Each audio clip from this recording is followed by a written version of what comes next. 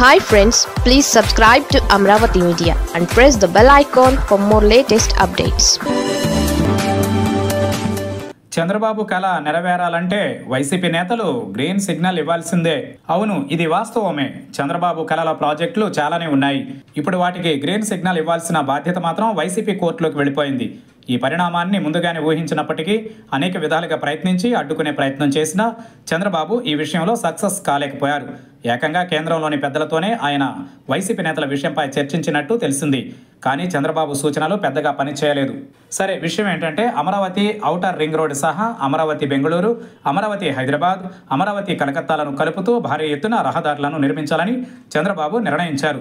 అంతేకాదు అమరావతి టు అనంతపురం వరకు ఆరు లైన్లతో కూడిన రహదారిని కూడా నిర్మించాలన్నది సీఎం చంద్రబాబు కళ దీనికి అప్పట్లోనే బేజం పడింది. అయితే ప్రభుత్వం దిగిపోయి వైసీపీ వచ్చింది. తర్వాత అమరావతి పక్కకు జరిగిపోయింది.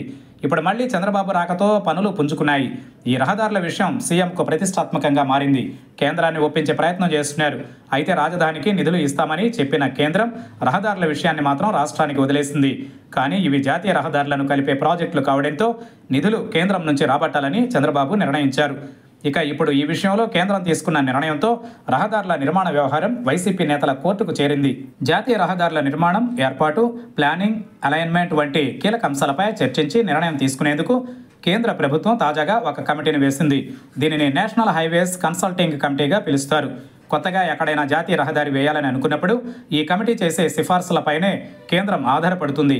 ఇప్పుడు ఈ కమిటీలో ఏపీ నుంచి వైసీపీ ఎంపీలకు అవకాశం లభించింది. టీడీపీలో పదహారు మంది ఎంపీలు ఉన్నా వారికి వేరే చోట అవకాశం ఇచ్చారే తప్ప హైవేల్లో రాలేదు. వైసీపీ నుంచి రాజ్యసభ సభ్యుడు పిల్లి సుభాష్ చంద్రబోస్ కడప ఎంపీ అవినాష్ రెడ్లకు ఛాన్స్ దక్కింది. వీరు ఏపీకి సంబంధించిన ప్రాజెక్టులే కాకుండా దక్షిణాది రాష్ట్రాల్లోని ప్రాజెక్టులను నిశ్చితంగా పరిశీలించి సిఫార్సులు చేయనున్నారు. కమిటీలో చర్చించి తుది నిర్ణయం తీసుకున్నాక కేంద్రం ఓకే చెప్పనుంది. అంటే ఒక రకంగా అమరావతి రహదారి ప్రాజెక్టులు ముందుకు వెళ్ళాలా వద్దా అనేది వీరి నిర్ణయంపైనే వీరి సిఫార్సులపైనే ఆధారపడి ఉంటుంది. ఇది ఒక రకంగా చంద్రబాబు కళల ప్రాజెక్టులు ముందుకు సాగేందుకు కీలకంగా మారింది. మరి వారు రాజకీయాలకు అతీతంగా వ్యవహరిస్తే చంద్రబాబు కళలు సాకారం అవుతాయి లేకపోతే ఇబ్బందులు తప్పవు. మరి ఏం జరుగుతుందో చూడాలి.